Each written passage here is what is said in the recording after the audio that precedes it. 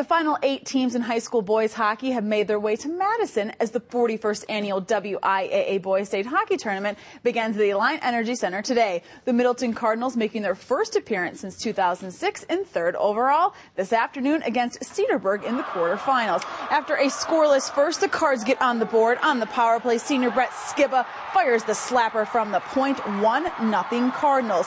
Then later in the second period, it's Skiba one more time on the power play. He just flies past to everyone for the goal. Cardinals up 2 0. Cedarburg does score a goal late, but it's not enough. Middleton gets their first ever win at state.